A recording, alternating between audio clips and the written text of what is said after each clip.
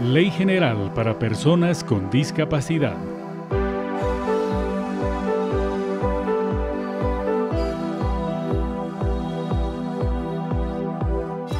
La ley garantiza a las personas con discapacidad el ejercicio pleno de sus derechos y deberes en igualdad de condiciones y oportunidades. Y validar lo que son los derechos de las personas con discapacidad y su acceso a una serie de eh, derechos que les corresponden. Por ejemplo, el de educación, el de salud, el de ser considerado una persona en toda su potencialidad, en el que podamos atender en los servicios que se corresponden.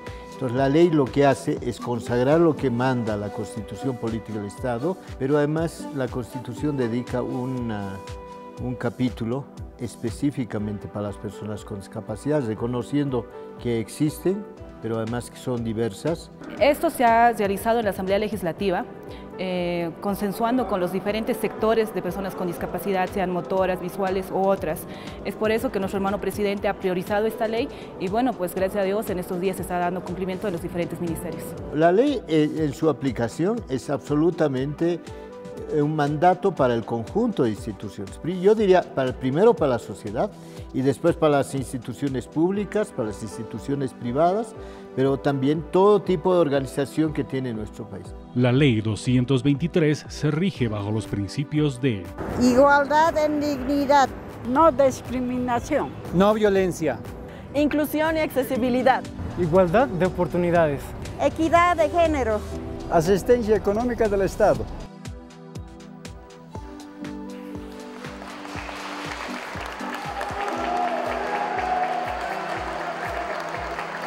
Que es por primera vez, y creo que es la única constitución política de Bolivia, que los derechos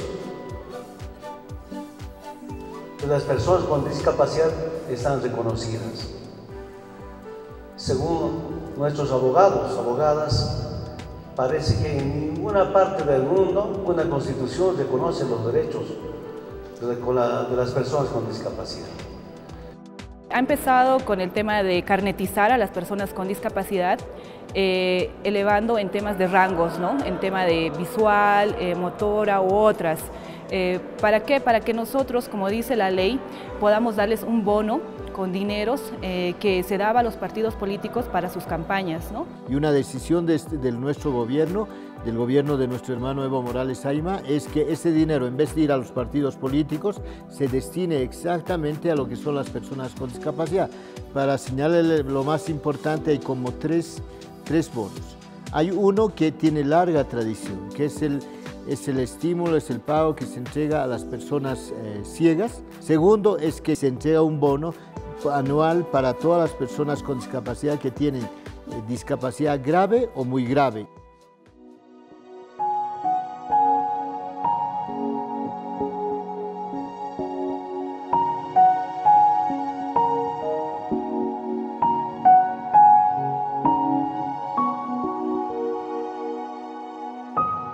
Primero estamos hablando de una persona y en la humanidad, en una sociedad, habemos personas. Segundo, que tiene ciertas limitaciones físicas, intelectuales, sensoriales, etc., pero además tiene una cantidad muy grande de potencialidades. Lo primero que quiero rescatar en este sentido es la fuerza y voluntad que ellos tienen. Para ellos no hay discapacidad alguna. A veces cuando estamos trabajando me quedo pensativo, veo las acciones, las actitudes que ellos toman y, y la pregunta que siempre sale, ahora, ¿quién tiene discapacidad, ellos o nosotros los que estamos alrededor? Los derechos son los mismos que establece nuestra Constitución Política del Estado, el derecho a la vivienda, a la salud, a la alimentación y a la vida desde la gestación. Eh, lo más resaltante de, los derechos que tienen las personas con discapacidad es que se les prioriza a darles las viviendas solidarias, a poderles dar eh, tal vez créditos para poder ellos poder iniciar eh, comercios para que ellos puedan subsistir o también poderles dar eh, algunas becas. Nuestros estudiantes son totalmente productivos. Eh, tenemos el nivel de educación técnica productiva, egresan, como les dije, como técnicos básicos, ya sería en artesanía, billutería, salimos a las ferias, ellos venden sus productos, se sienten orgullosos de sus trabajos, el recibir la paga por su esfuerzo, entonces ya no se sienten más eso que se decía carga familiar. Para el ejercicio de sus derechos, la ley otorga garantías en los ámbitos de lo económico, lo educativo, la salud, lo laboral, lo comunicacional, en lo civil y otros.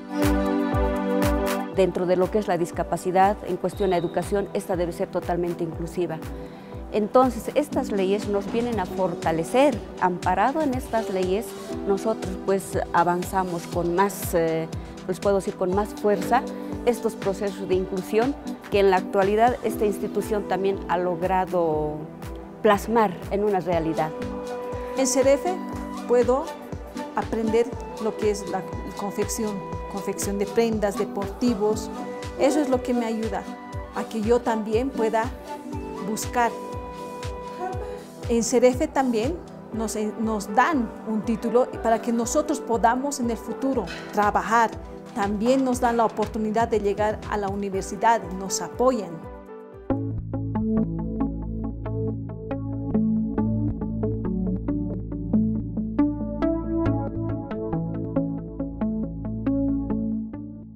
El Comité Nacional para Personas con Discapacidad, CONALPEDIS, es una entidad descentralizada bajo tuición del Ministerio de Justicia, encargada de la planificación estratégica en materia de discapacidad.